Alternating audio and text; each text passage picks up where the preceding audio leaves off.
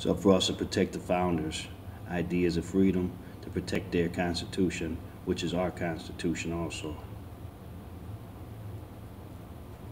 We are the light on the other end of the tunnel that they passed the torch to.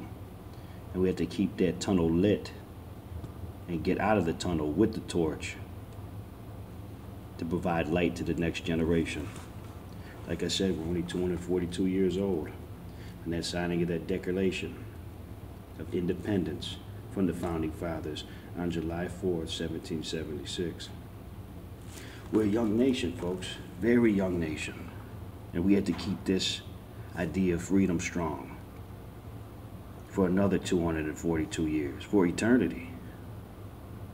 Freedom is only one generation away from extinction. It could be extinct tomorrow if you let it. It could be extinct next year if you let it. You always have to fight for your rights. Fight for the Constitution and keep our founders' vision alive, baby. Patriots out. Can't let our country be ran by idiots. You understand? Trump ain't no idiot. I'm talking about these fucking communist congressmen.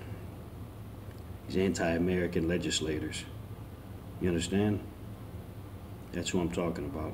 The real problem is within the Congress and in these federal institutions. You understand? Always fight to keep America free, baby. And never stop. Patriots out. Have a good one.